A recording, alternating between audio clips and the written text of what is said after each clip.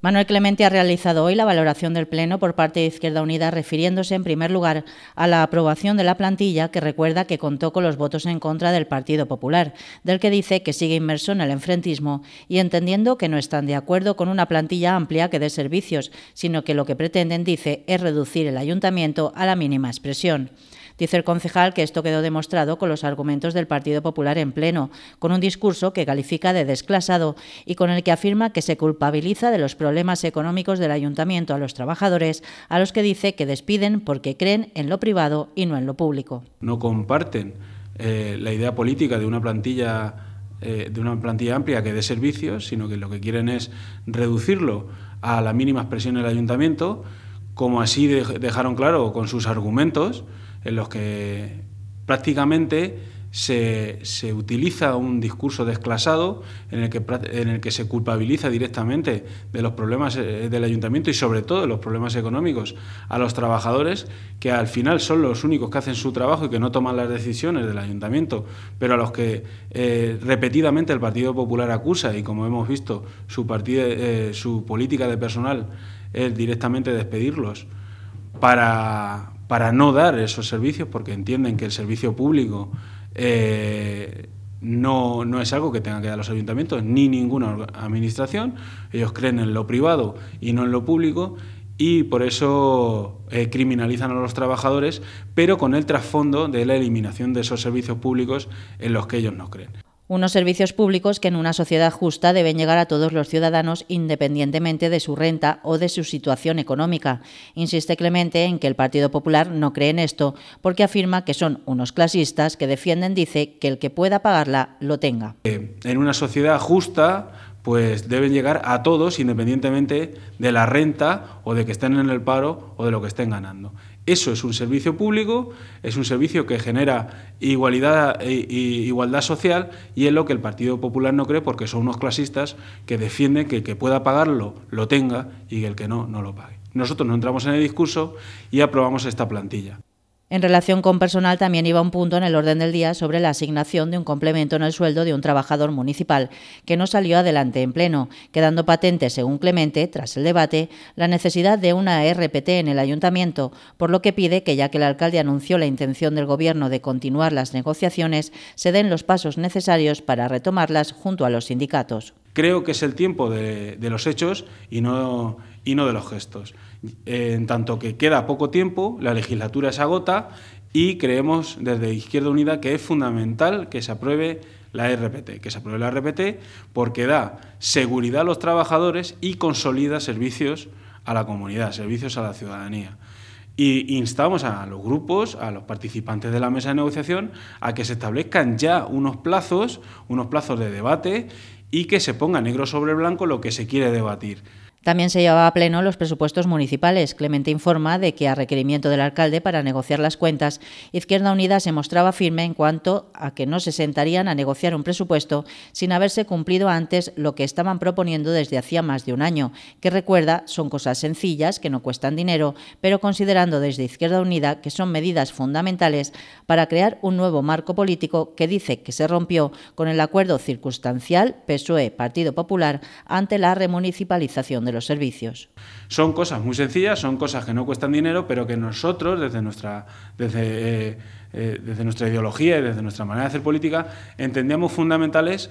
como elemento para crear un nuevo marco político que se rompe con ese acuerdo eh, con ese acuerdo circunstancial entre PSOE y Partido Popular de romper el acuerdo de investidura con nosotros, con Izquierda Unida, en relación a la remunicipalización de, los servicios. El alcalde finalmente aceptó estas tres premisas, dejando el presupuesto encima de la mesa, dice Clemente, para que dé tiempo a cumplir estas tres medidas que pasan por el cumplimiento de la Ley de Memoria Histórica, la revitalización de los consejos municipales como foro de participación ciudadana para acercar la política, también en lo presupuestario, de los ciudadanos al ayuntamiento y, por último, la creación de la Comisión de Vigilancia de las Contratas para fiscalizar si estas contratas cumplen con los pliegos y con lo que se está pagando por su servicio y si es suficiente lo que se está haciendo.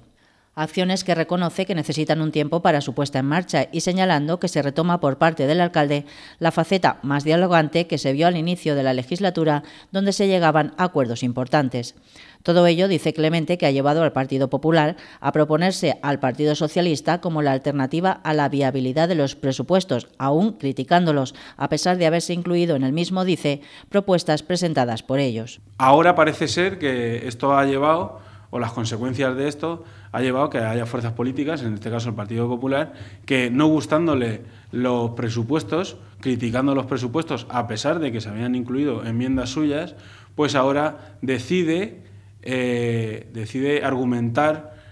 o decir o, proponerse al Partido Socialista como la alternativa, eh, como la alternativa a la viabilidad. Bueno, no entendemos cómo ahora criticando esos presupuestos y diciendo que la política económica es muy mala, ceden, dan este cheque en blanco eh, al Partido Socialista. Para Clemente, esta actitud de los populares se debe a que los están dejando sin coartada política, ya que afirma que si son capaces de transformar el marco político, el Partido Popular se queda sin excusa para poder seguir destruyendo el sistema público en el caso de que vuelvan. Sí lo entendemos, porque los estamos dejando sin coartada política. Si nosotros somos capaces de transformar el marco político, los dejamos sin excusas para poder seguir destruyendo, en el caso de que vuelvan, el sistema público. Se trata de dar poder a los ciudadanos a través de la fiscalización y la información en un marco donde las empresas no mandan porque se controlan, algo que dice que no quiere el Partido Popular, ya que afirma que lo que quieren es establecer una política donde se justifiquen los recortes por la mala gestión. Insiste en que el Partido Popular le da miedo que se cree una alternativa que los deje sin esa excusa. La fiscalización tiene un elemento fundamental y es que tú le das explicaciones a los ciudadanos. Los ciudadanos saben y no mandan las empresas porque se las controla. Todos estos elementos de poder que se trasladan a la ciudadanía, el empoderamiento,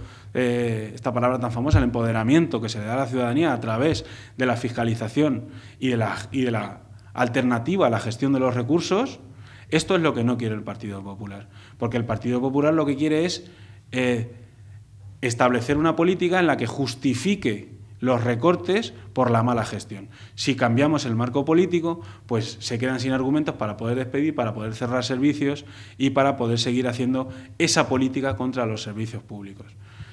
Y yo creo que este es el elemento fundamental y el elemento fundamental que les da miedo, que se cree una alternativa que los deje sin esa excusa. Entienden desde Izquierda Unida que están en el buen camino al buscar alternativas de racionalización del gasto que permita invertirlo en la mejora de los servicios públicos, consiguiendo, dice, que el Partido Popular se ponga nervioso y acepte cualquier cosa que le proponga el Partido Socialista. Que nosotros estamos en el buen camino, en tanto que hemos conseguido que el Partido Popular, después de un montón de años, se ponga nervioso y acepte cualquier cosa que le proponga. Eh, el Partido Socialista y entendemos que lo estamos haciendo bien en tanto que se entiende ya por la ciudadanía que la alternativa está precisamente en buscar otra vía, otro modelo que nosotros proponemos y que, y que vamos a intentar implementar eh, a través de los presupuestos y a través de estas medidas que, como digo, parece ser que ahora se, se van a poner en marcha.